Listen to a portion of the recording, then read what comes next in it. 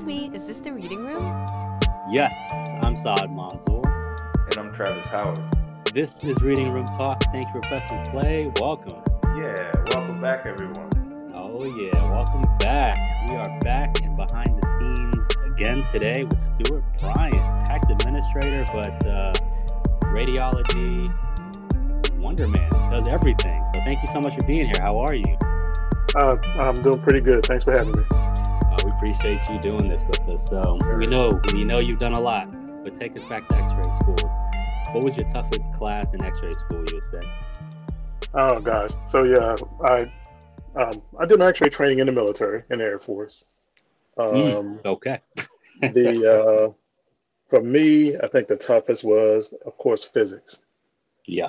Um, you know the formulas and um, it, just everything related to X-ray physics. So that that took a little effort yeah. to, um, you know, get that down, but we did it. I can imagine. I can imagine. Was there like was there like a tough tough part of physics, or just kind of like all of it?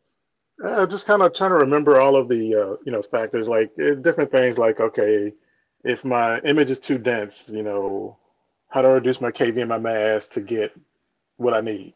Mm-hmm. So there's all those mm-hmm. formulas that you have to remember. Um, mm-hmm. So yeah, no, that's uh that makes sense. It's a it's a lot. It's a lot. It is. Uh, did anyone sort of try? Were you intimidated before you started learning about it? Did, did everyone say it was going to be hard? Actually, I, I kind of fell into it because, uh, you know, in the military, you take the ASVAB, and I qualified for certain things, and I picked X-ray because my mother was a nurse, oh. and I kind of I kind of knew that was medical, so mm-hmm. that's why I chose it, and that's all I knew about it. Yeah. So um, um, yeah, that, that's, that's so I had no uh, preconceived notion about the difficulty of the course or the work or mm-hmm. anything like that. But at least you knew what it was. I feel like a lot of people don't even know that it's a whole, it's its own thing, you know. So at least you had like, you know, someone in your family kind of tell you like, hey, this is something that some people do. So right. that's important. Um, so tell us, tell us, take us back. So where are you from? Where's your family from? Where'd you grow up? Um, so I grew up uh, about 90 miles south of DC, uh, Richmond, Virginia. Okay. Richmond. Um, All right. So yeah, grew up there. Um, mm-hmm. Went to all three levels of school there. Mm-hmm. Um, I enlisted in the military uh, just out of high school, um, and kind of off I went. So, what nice. prompted you to do that? Enlist in the military. well, um, I uh, my senior year of high school was when I decided I might want to go to college. And that was a little that was a little too late to even you know think about applying and what my grades should have been and you know the whole thing. So, um, I, I mean, my brother was is a Marine, so I, I kind of knew oh, wow. there's opportunities there in the military. So mm-hmm. I, I knew I didn't want to be a Marine, so I you know I chose the Air Force. Very cool. Very yeah. cool.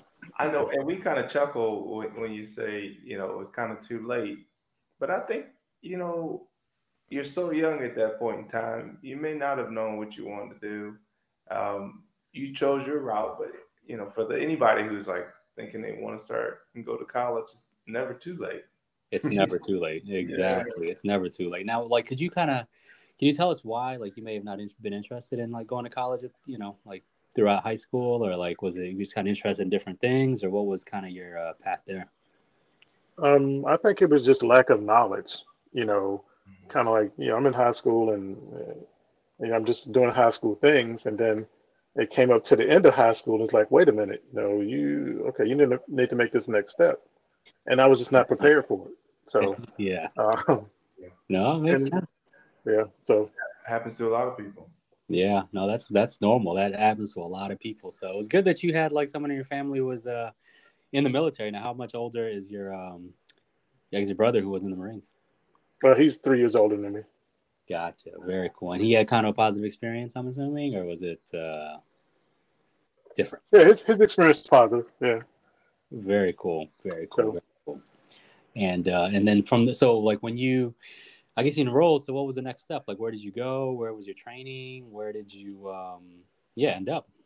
Okay, so uh, you know, of course, basic training was in Texas. Uh, the technical training for like the healthcare in the Air Force was at Sheppard Air Force Base in Wichita Falls, Texas. Uh, so we went there uh, and trained there. Um, in the Air Force, they had like uh, phases of training. So you did just your your book work Okay. um, in that first phase. Um, the second phase, you were transitioned to, say, a major medical center. Um, I came to Malcolm Grow here at Andrews and did like the second phase of my training, which was a year working classroom work, uh, clinical, you know, working with the radiologist. Um, Mhm. and then the third piece, you had to go to a base that had uh, a hospital and a radiologist to work for another year. So in total, the training was like maybe two and a half years. okay. Um, so um, after that, uh, you know, the Air Force actually, in order to get my registry, my RT, the Mhm. Air Force had a quality control exam that you had to pass in order to even sit for the ART. Got So it. Okay. yeah, so they're, they're And, training. and, and what and, and ART just so we're all clear. So what does that stand for? Oh, okay, the American Registry of Radiologic Technologists. Gotcha. It's the accrediting body for X-ray techs, uh, CT, and yeah, radi- radiology. Yeah, yeah, yeah. No, that makes sense. So that's cool. So you so you passed and uh did okay, it sounds like. So did you stay in the, and you said you stayed in the military after that or did you kind of transition, you know, out at that point?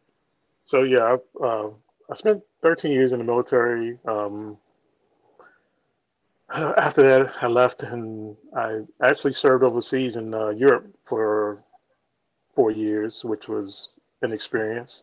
Very Um, cool. Now what part No, no, it was it was actually a really good experience. Um, because before that, I had, I guess, as far as travel, I had traveled as far north as DC and as far south as North Carolina.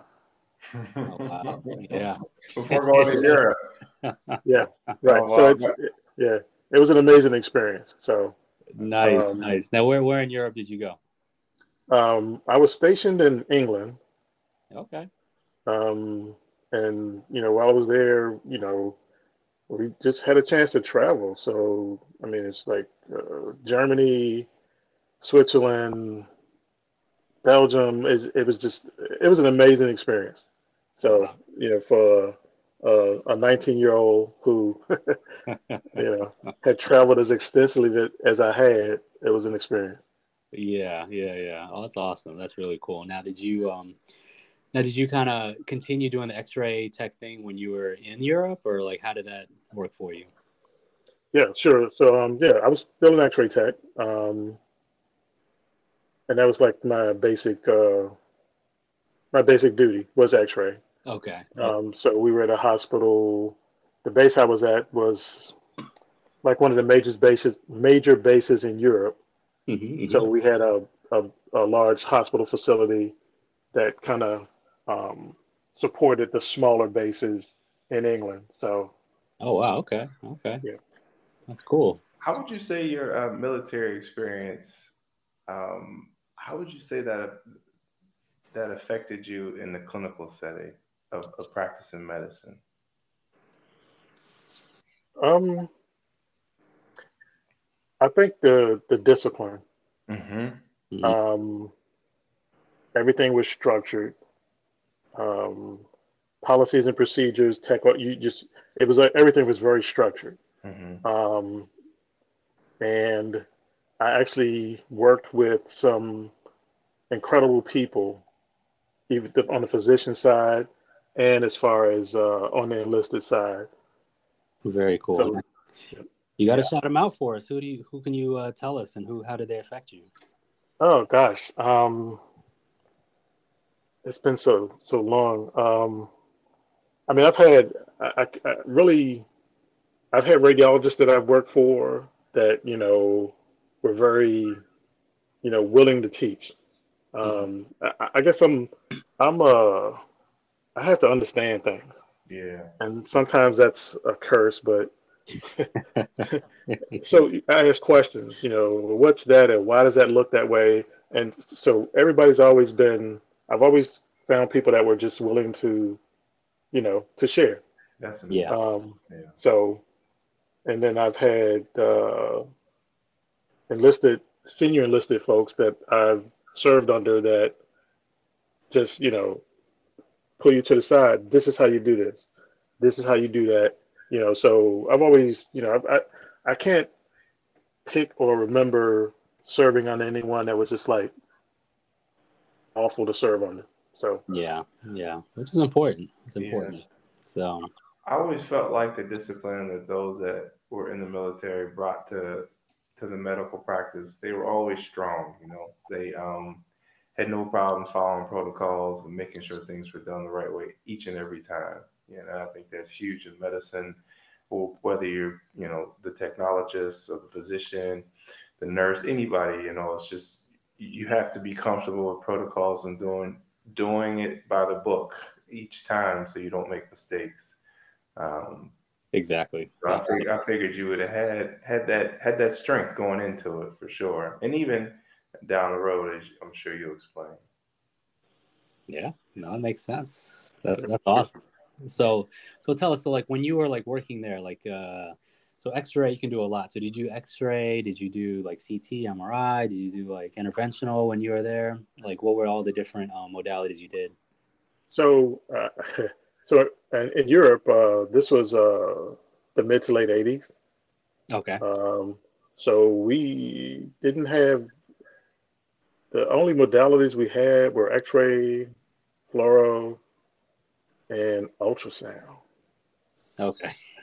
Yeah. So you know, uh, and and we supported the smaller bases in Europe. So we you know have relationships with the um, the British government. So if we needed certain, if our soldiers needed certain care, they either went to a British hospital or were flown to um, Wiesbaden in Germany, which was like the major medical center um, in Germany, and they had CT and those other modalities.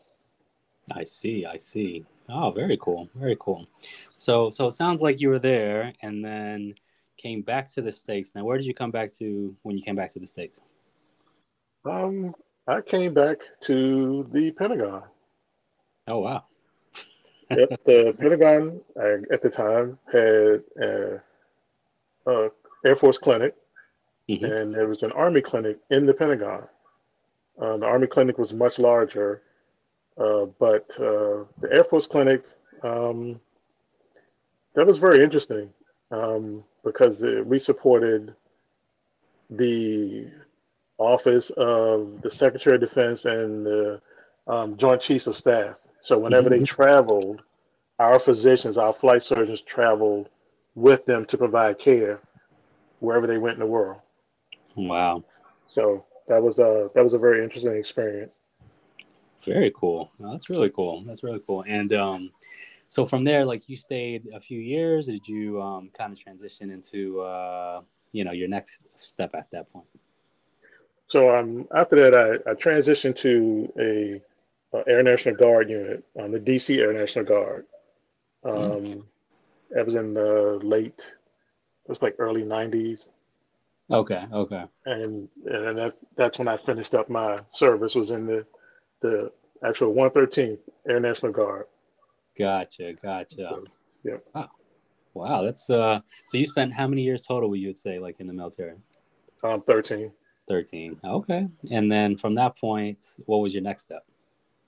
So at that point, when I transitioned to the Air National Guard, of course, I was considered not active duty, so a civilian. So I started working at uh, Southern Maryland Hospital in Clinton. Okay. okay. Um, Very so, cool. know, I worked there. Uh, I've kind of worked a couple of places uh, there, Howard University. I've worked for Kaiser before, Mhm. um, and uh, just a couple of other odd, like uh, part-time jobs, like a patient, uh, patient first. okay. Um, you know, so I've uh, also in that mix, I've uh, I worked for one of the vendors um, doing uh, systems training. So when they buy a new system, we go out and train them um, on the use of the system. Um, so that was very interesting because it gave me an opportunity to You saw from the industry standpoint too, then. Right. So I saw different the way different hospitals operated, mm-hmm. um, their setups. Uh, you know, so that was a really that was a really interesting uh, position as well. So. Wow. So like that's that's interesting. Like you went to X-ray school, and then you were basically able to like work in the military, work you know in hospitals. You were able to go into industry. Like you were able to do a lot of things with this. So that's yeah. that's really cool. Yeah, you saw a lot. I'm sure and that, and that's kind of what I you know I'll tell people you it's I guess it's about having a vision. Um, mm-hmm. Some people say, "Oh, this is just X-ray. I don't just want to shoot X-rays." And I'm like, eh, it's not just X-rays. You know, there's other modalities that you can get into, mm-hmm. like CT, ultrasound, uh, MRI. Mm-hmm. Um, there's also with the industry, um, they have people like when we get new equipment, their trainers come in and train our staff on the use of the, the proper use of the equipment. Mm-hmm, mm-hmm. So, so, there's just so so many you know opportunities, and then now you know I'm working with the PACS team, and I mean the opportunities have just been endless. So that's awesome. That's really cool. So tell us. So can you explain to like someone who's like not familiar? So what is PACS, and what is it that you do with PACS now? Ah, okay. So um, so for the person that doesn't know, I would say, you know, in radiology, when you go and have your X-ray done, they used to hold your X-ray up to the light and show you. Now everything's on the computer. So there's a whole infrastructure that supports um, your images being available on the computer for your doctor, whomever else needs to, you know, uh, view those those those studies. Mm-hmm, mm-hmm. So what we do, our team supports that infrastructure um, that maintains those records for radiology. Yeah, yeah. so what did, what did, what did you have to do after being a technologist to to be able to do this? Um, so I guess I'll go back. Uh, initially, when I worked for Kaiser, um, before I left, one of the last things I did was some project work for Mid Atlantic states.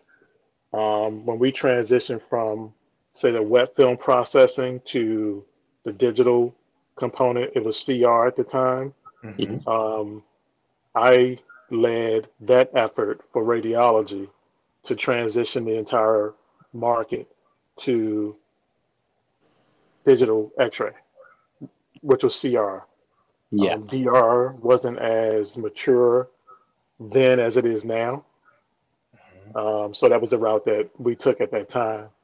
Um, but during that time, I learned a tremendous amount working with the IT folks about networking and all of the connectivity that's involved. Uh, I went back to school and um, worked on um, some coursework with uh, like Microsoft and information systems. Um, and then my clinical experience is really valuable because uh, with our support, you have kind of two groups. You have people that are kind of mostly IT, and then they kind of have to understand the clinical. Yeah. You have people like me who are clinical, and we transition to the information or the IT side. Um, so I think there was really a value in that for me because um, of the various things that I had done um, since you know um, in the field um, it, it, helped me in that way. So that makes sense. And you said you need to know everything, so you probably knew everything. you had that vision too to, to combine, you know, to know that you had you had a lane, you had a, a niche where you had the clinical aspect, and also you were acquiring that other knowledge, that IT knowledge. So, yeah, uh, yeah, that's that's you know, that, that you were able to put it together like that. That's awesome. And I was gonna say, I mean, probably when you were training, like there was just like a film library, which was a room with just you know films in it, and now it's all online. It's all digital, and this is what you do now, which is awesome. Exactly. Exactly. Very cool. Very cool. So, so let, let me ask you. So, um, do you have any regrets? I guess as far as your career goes, like, is there anything that you feel like you would have wanted to do or looking forward to doing? Um, I, I would say professionally, no. Um, I, I, mean, I, I would kind of say I've professionally I've kind of lived a charmed life because mm-hmm. I've you know I've been able to I've touched so many aspects of our industry. Mm-hmm. Um, it's just most some people start out as techs and they retire as techs, and there's nothing wrong with that. But you know, that's just the opportunity to, like I said, touch different parts of the industry from the vendor side, mm-hmm. um, and you know, just uh, in different uh, environments. Because I've worked everything from trauma, you know, to military trauma. yeah. You know, so um, that's awesome. That's really good. I mean, I think, uh, yeah, sometimes you just don't know. Like when you're like in high school or elementary school, you don't know what you want to do. You kind of fall into, you know, X-ray school, and the whole thing opens up for you. So that's, that's it's great. It's great to see, and it's great to, for people to hear too. Like there's just a whole whole industry. Like once you just get into it. Yeah. What, what do you love most about what you do? Um. So so now it's um it's uh, I think it's the challenge, mm-hmm. um, because the team here um, that I work with is they're super. We've got a, a wealth of experience. Um, we support. Uh, I, I think most people may think we just support radiology, but we support eye care systems, etc. We support dermatology. We support um, the imaging for maternal fetal medicine. Mm-hmm. So um, that's kind of outside of what I had done previously because when I worked at Howard as a PACS administrator, when I worked for University of Maryland, um, we were strictly radiology. Um, so it's been kind of a, a leap or a stretch to learn and understand how these other departments operate and you know how we can support um, their efforts and support their imaging um, so that of course everything's available as it should be for you know patient care yeah oh that's you, awesome yeah you love a challenge it sounds like you, you, you move and shake and that's that's great what what challenge have you have you faced that you know, would you say is one of your most difficult challenges? And how did you how did you get through it? Um, you mean just professionally or? Yeah, you know, um, professionally. Or personally, yeah. I think it all it's all related. It's tough to do anything professionally if your personal life isn't, you know, together as well. So it's it's all important. Yeah, you're successful, and we want anybody who wants to be successful. They can glean from your from your journey and the things that you've accomplished by all means, drop some gems, dude. wow. Um, so uh, I guess, uh, of course, you know there are different challenges. Everybody experiences them. Um, I'm trying to think of. I can't really think of anything that's uh, significant that just kind of jumps out that I would, um, I guess, speak to. Yeah. But it's just, um, you know, uh, it's it's little things. Um, I guess I'll share a, a, small story of how I ended up back with Kaiser. Mm-hmm. Um, my previous uh, position was with uh, University of Maryland, mm-hmm. and you know, University of Maryland, the medical system is acquiring different hospitals. So I was at the Charles Regional in La Plata, and um, when they made the transition for us to be absorbed by the University of Maryland, um, there were two PACS admins, and the decision was made that to support that system, we would only need one. So when that happened, we interviewed, and I started looking because I'm not gonna kind of you know wait until the shoe drops and right. that's how I ended up back with Kaiser. Um, so it's at the time it was uh, somewhat stressful because it's like, wait a minute, you know, I've been there three years and that was kind of supposed to be my retirement job. Oh, I see. yeah. You know, so, you know, and, and, I think the mistake I made was I said it out loud. to myself. But you know, um, and then you know, life throws you a slider, and you know, you just have to make those adjustments. So uh, it's kind of interesting, just the way it just kind of lined up because uh, when I submitted my resume, I think it was like I think Kaiser closed the position like a day or two later. Wow.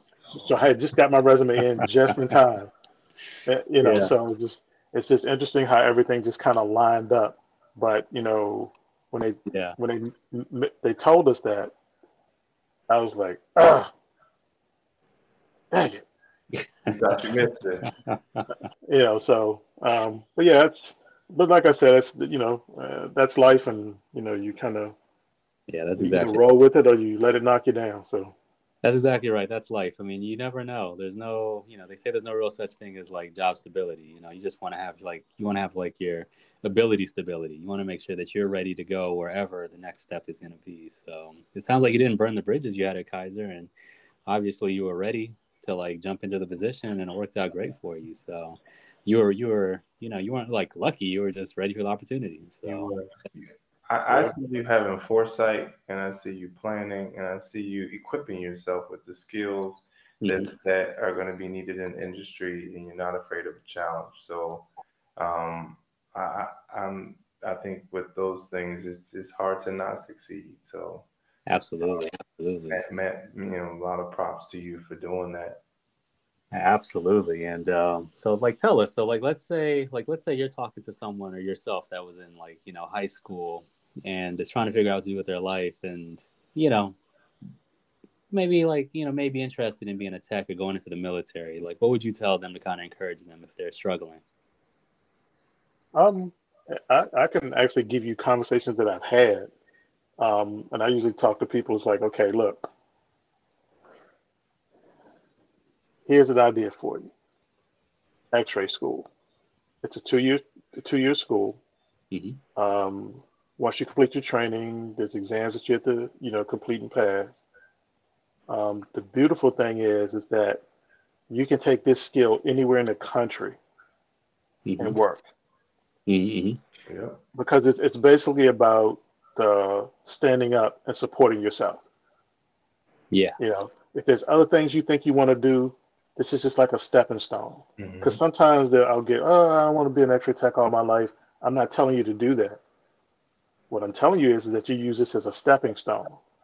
So if, say, you want to move to California and do whatever, get into acting, you can support yourself because you can go work any shift that you want in order to kind of pursue what it is that you want to do. Oh, that's great, man. Um, great. You know, yes. Yep. So then I told them about the different opportunities and not just about x-ray. Mm-hmm. Here's some of the things that are going on. Here's some of the things that you can do. Here's some of the things that I've done. Yeah. Um, so that, that's usually my spiel with, you know, um, with young people when they kind of, mm, you know. yeah. No, that's true, man. That, that, that's, that's great. And, and you're like a living, you know, breathing example of like all of it too. You know, you've, uh, you said you had like only kind of been you know, between Virginia and North Carolina, and then joined the military, went to Texas, went overseas. You have the skill, you can work anywhere. You decided to come back, and then from there, you use the skill to like, you know, who would have thought? You now you're like, you know, helping support dermatology and, uh, you know, to upload their images, which is crazy.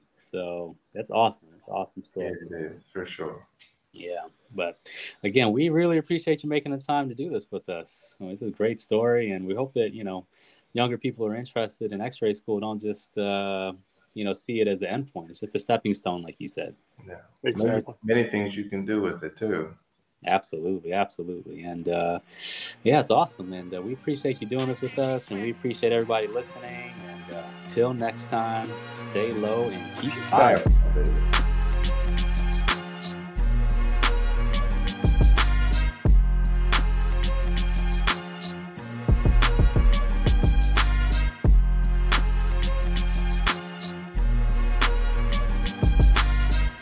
Please subscribe, rate, and review on iTunes or wherever you get your pods.